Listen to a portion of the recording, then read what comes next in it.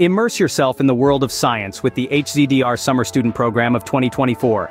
Located in Germany, the Helmholtz Zentrum Dresden-Rossendorf presents an excellent learning arena for physical and life sciences students. Spanning July to September, internships last six to nine weeks. Daily stipends, free lodging, travel tickets and insurance are included. Gain knowledge through lectures, discussions, and meetings. Open to master's or diploma students in scientific fields, possessing a bachelor's degree, a solid academic record, English proficiency, and being available from July to August. Apply online, indicating your field of interest and work.